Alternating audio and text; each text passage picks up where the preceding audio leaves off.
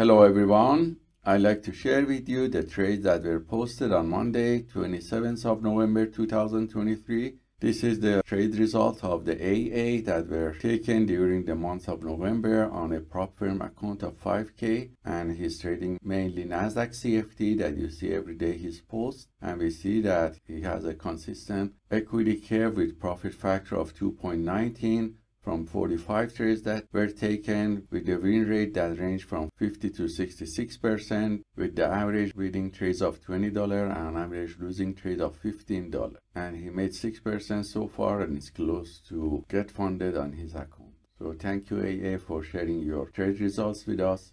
The next trades were shared by RA from Seattle who's trading Nasdaq futures as you see the macro chart reached a static level of support and the price got rejected and the buyers came back.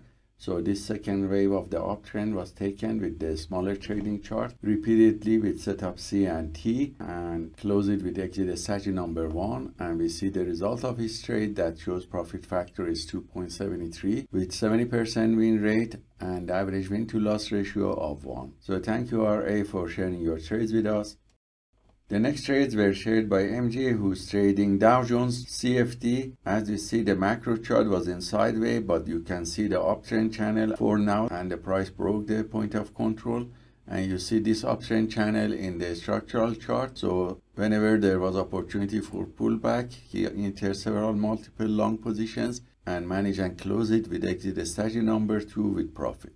So thank you MJ for sharing your trades with us the next trades were shared by Jan, our global instructor, who's trading Dow Jones CFD. As you see, the macro chart is in wide range sideways with high volatility. So this last wave of uptrend that you see in a structural 5-minute chart was taken using the 1-minute trading chart repeatedly with setup T. And you see two long entries and he closed and managed them with exit strategy number 1 with profit. So thank you Jan for sharing your trades with us. The next few trades are those that I have taken during the New York market session and the video with detailed explanation was sent to students yesterday so I'm gonna replay the video here for you. Hello everyone, I'd like to share with you the trades that I have taken today on Monday 27th of November 2023.